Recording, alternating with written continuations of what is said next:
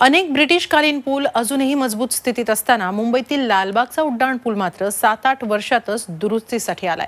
M M R D एनं दीडशे कोटी रुपये खर्चून बांधलेल्या आणि मुंबई महानगरपालिकेकडे हस्तांतरित केलेल्या या उड्डाण पुलाच्या दुरुस्तीसाठी बीएमसीला तब्बल एकवीस कोटी रुपये खर्च करावे लागत आहेत एवढ्या कमी कालावधीत दुरुस्तीसाठी आलेला हा पहिलाच उड्डाण पूल आहे.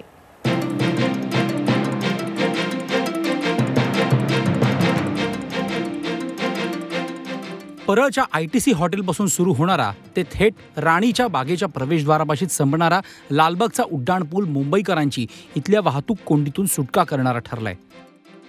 एम एम आर डी एने सिम्प्लेक्स इन्फ्रा या कंपनीकडून सुमारे दीडशे कोटी रुपये खर्चून हा अडीच किलोमीटर लांबीचा उड्डाण पूल बांधून घेतला.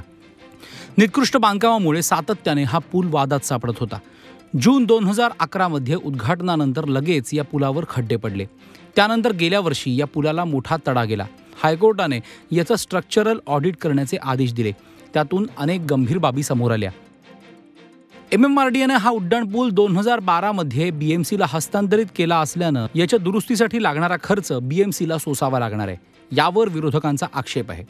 इस पूरे प्रकरण की इंक्वायरी होना चाहिए। स्थायी समिति के समर सारी बातें आनी चाहिए। स्थायी समिति को ब्रिज की पानी करना चाहिए और एक थर्ड पार्टी ऑडिट इसका करना चाहिए कि ये जो एस्टिमेट बनाया गया इक्कीस करोड़ का, ये कोई भी कॉमन सेंस जिसको होगी वो व्यक्ति इसको एक्सेप्ट नहीं कर सकता। इस पर खुल के चर्चा स्थायी समिति में होगी। एकदा काय आपल्याकडे कंत्राटदार नेमलं की त्याची जबाबदारी असते एक डीएलपी पिरियड असतो की त्या पिरियडमध्ये त्याने ते काम करणं अपेक्षित असतं.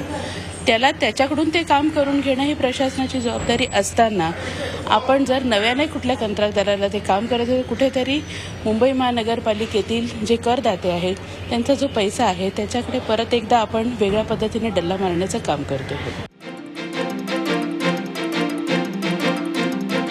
कंत्राटदाराने केलेल्या निकृष्ट दर्जाच्या बांधकामामुळे सातत्याने मोठी दुरुस्ती करावी लागत आहे.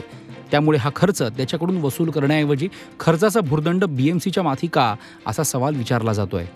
या बीजाचे जे काम एम एम आर डीने केलेलं आहे असं दिसत आहे की ते काम बरोबर केले नाही. पाच सात वर्ष झाले आणि त्याचे पिरियडमध्ये आम्ही ब- महानगरपालिका अठरा कोटी खर्च करायच्या हे बरोबर नाही.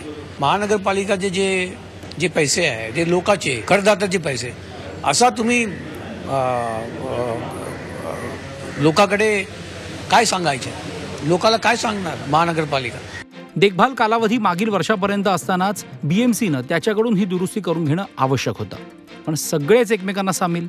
त्यामुळे दोष कंत्राटदार आणि एम एम आर डी एचा आणि भुर्दंड मात्र बीएमसीला बसतोय. सात वर्षातच उड्डाणपुलासाठी एकवीस कोटी रुपयांचा दुरुस्ती खर्च निघत असेल तर या प्रकरणात कुणीच दोषी नाही का? तर यात दोषी अनेक जण आहेत परंतु त्यांना वाचवण्याचा प्रयत्न प्रशासकीय पातळीवर होताना दिसतोय एवढं मात्र नक्की. व्हिडिओ जर्नलिस्ट अतुलसह Krushnat Patil Zee media Mumbai. Zee चोवीस तास. रहा एक पाऊल पुढे.